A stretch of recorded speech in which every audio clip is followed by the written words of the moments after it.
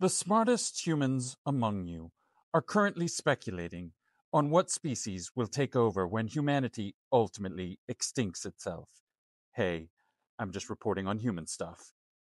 One of the frontrunners is our old friends, the cephalopods, primarily octopuses, but I will throw in squids and cuttlefish for good measure. Dr. Tim Coulson, who studies ecology and evolution at Oxford University, is backing our cephalopod friends as the next dominant species on Earth. Unfortunately, other scientists have rightly pointed out that octopuses will need to undergo some serious social changes. Octopuses are known as loners and sometimes even turn on their own kind as food. Yes, cannibalism.